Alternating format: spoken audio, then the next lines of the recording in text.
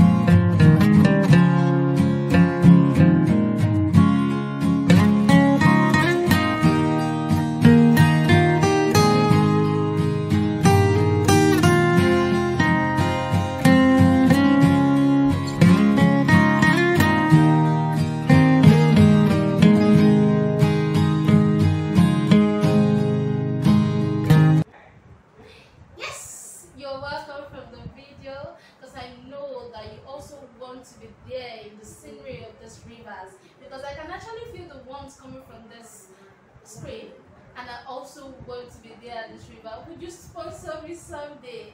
So see you in the next video. I want to know what you want me to do. History with Ade.